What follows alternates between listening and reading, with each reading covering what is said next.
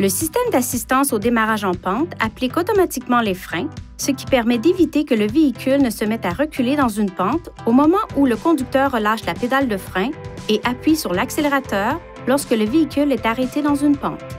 Le système d'assistance au démarrage en pente fonctionnera automatiquement lorsque le levier de vitesse est à la position de conduite ou de marche arrière et le véhicule est immobilisé dans une pente avec les freins appliqués.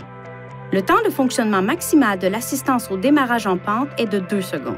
Après ce délai, le dispositif se désactivera et le véhicule se mettra à reculer. Veuillez consulter le manuel du conducteur pour obtenir des renseignements importants concernant la sécurité et les limites du système et pour en savoir davantage au sujet de son utilisation et de ses caractéristiques.